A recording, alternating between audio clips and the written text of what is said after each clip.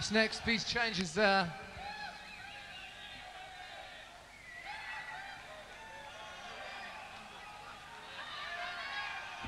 changes the mood altogether. It features uh, Jimmy Page on guitar. And it's called Black Mountain Side.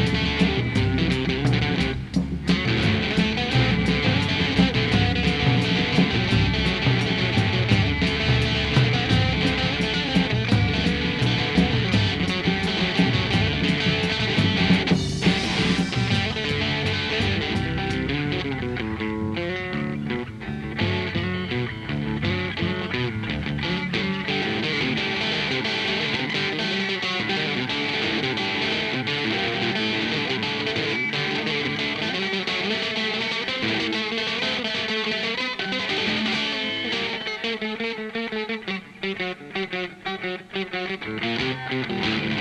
you.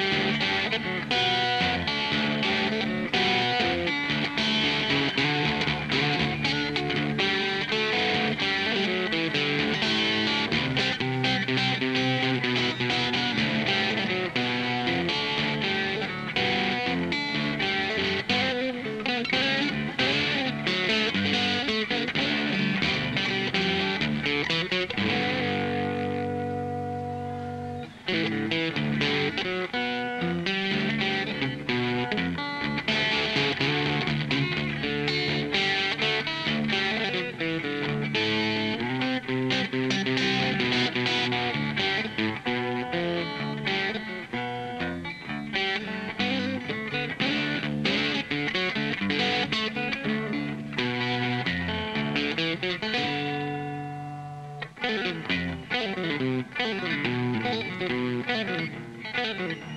you.